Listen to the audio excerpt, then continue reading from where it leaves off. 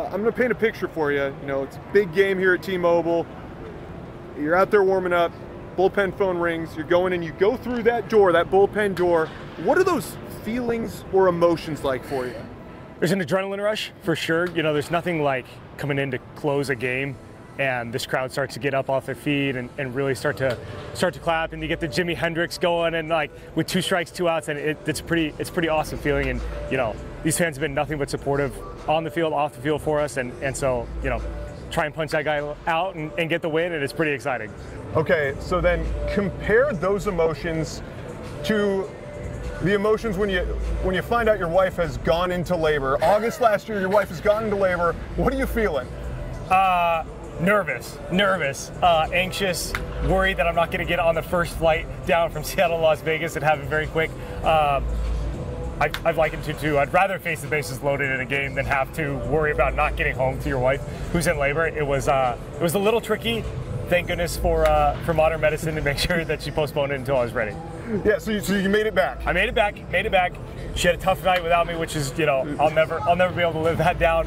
Uh, but I was there for I was there for all the most important parts, and that's what matters most. What were those emotions like when you meet your daughter for the first time? My wife gave me trouble because I didn't cry at our wedding.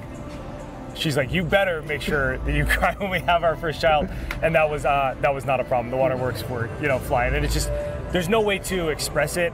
You just have to be in that moment and figure out exactly what that feels like to every individual of, of this is your first child, and, and it, it was unlike anything that I've ever experienced. It was, it was amazing. That's awesome. Uh, talk to me about uh, Sewald Strikeouts for Kids. Your daughter, obviously, the impetus for you wanting to do this. Yes.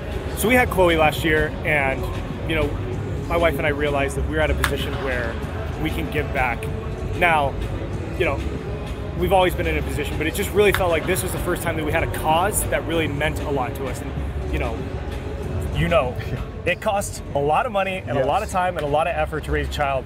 And we uh, we are so lucky that we have you know endless resources and and you know Molly's been breastfeeding, so we haven't had to face the formula shortage, and we've just been very very fortunate with everything.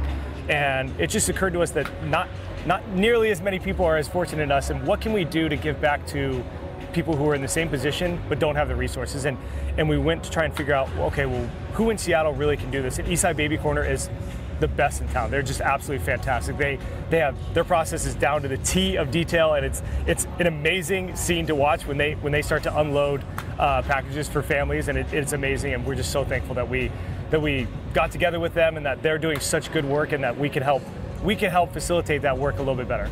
If folks want to get involved, how can they? So go to my social media pages.